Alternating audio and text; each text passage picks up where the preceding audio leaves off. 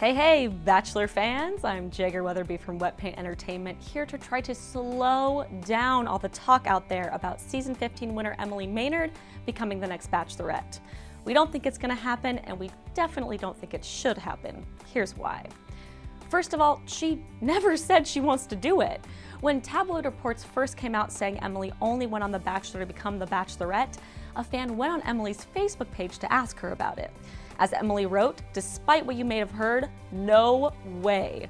Emily reiterated that point to People magazine, saying, Right now, my main focus is being a mom. The last thing on my mind is to do this all over again.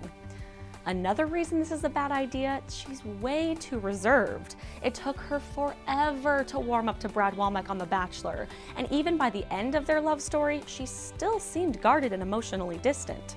Her bachelors would have to work overtime to get her to come out of her shell, and we can't imagine her kissing several guys, never mind going within 50 feet of a fantasy suite.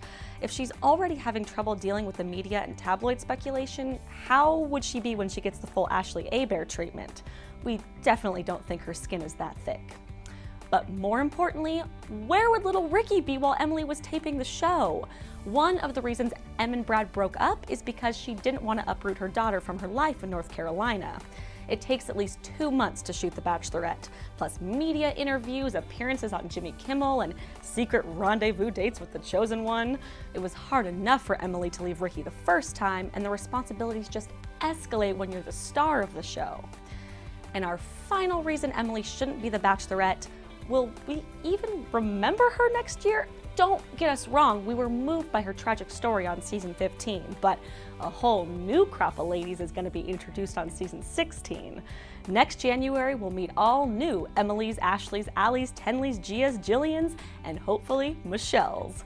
Let Emily Maynard go back to the private life she wants, and let's focus our attention on whatever new ladies do want the gig this time next year. So what do you think about all these Emily rumors? Sound off on our Facebook page at facebook.com slash the Bachelorette fan site. And don't forget to subscribe to youtube.com slash wetpaint for even more juicy TV spoilers and celeb gossip. Catch you later.